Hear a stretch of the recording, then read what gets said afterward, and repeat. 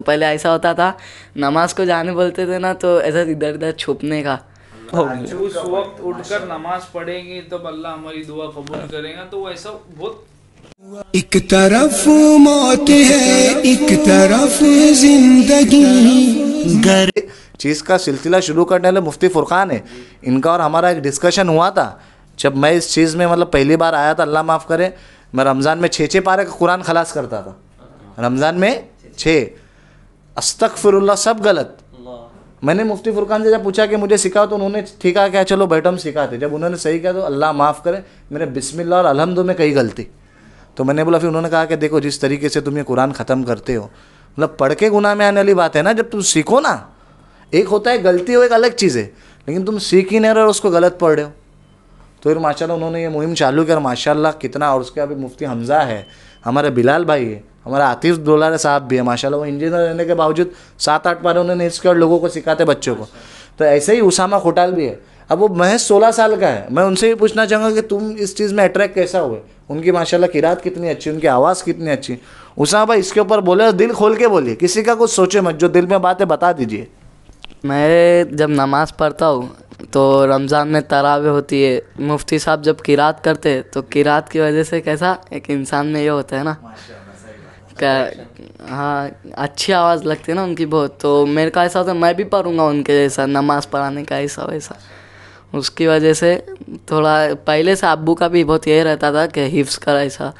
तो वो तो एक अलग था, तब ऐसा लगता था कि अबू खाली बोल रहे हिफ्स कर हिफ्स कर, बाद में करूँगा।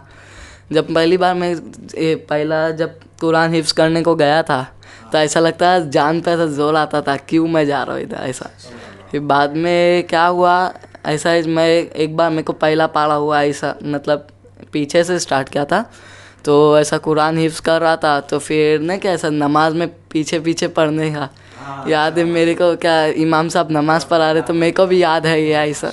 उससे फिर थोड़ा ये हुआ और फिर एक बार अभी पिछले रमज़ान की बात है तो क़यामुल लैल की नमाज़ को एक बार मुफ्ती साहब ने खड़ा किए थे। तो तब से मेरे को बहुत अच्छा ऐसा एक दिल में ये हुआ था उसके वजह से। और एक एक बात एक ऐसी थी कि पहले अबू बोलते थे ना तो ऐसा अच्छा नहीं लगता था कि खाली मेरे को कुरान पढ़ने बोलते हैं ऐसा वैसा। लेकिन जब मेरे का अभी याद होना चालू हुआ है तो मैं इतना ये नहीं करता हूँ क्या वो अच्छा लगता है कि हाँ बाबा याद हो रहा है ऐसा। फिर तुम्हारा एक बार ऐसी भी थी क्या अभी खुद से मैं कैसा नमाज़ को पाँच वक्त जाता हूँ नहीं तो पहले ऐसा होता था नमाज़ को जाने बोलते थे ना तो ऐसा इधर उधर छुपने का।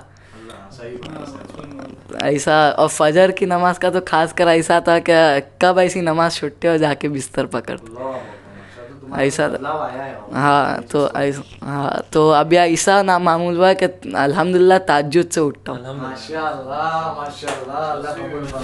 आपकी ये इबादत कबूल फरमाए। अल्लाह ताला आपको इस पर खूब अजर फर अच्छी बात है कि इनकी उम्र महज सोलह साल है।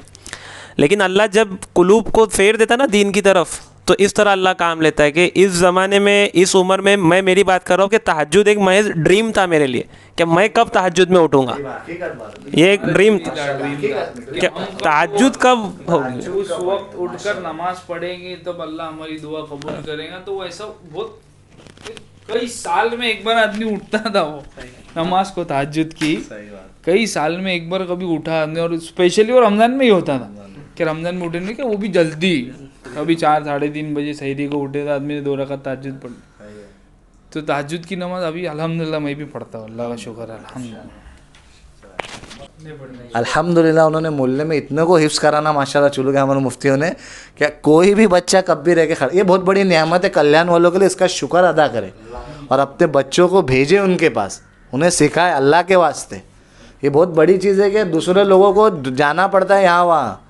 कि वह, हमारे इधर पढ़ाने और नमाज़ माशाल्लाह, ये बहुत अच्छी तरतीब इन्होंने कहा इसके बारे में जितनी तारीफ़ के, कम है। अल्लाह रियाकारी से इनकी हिफाजत फरमाए। आमीन आमीन आमीन।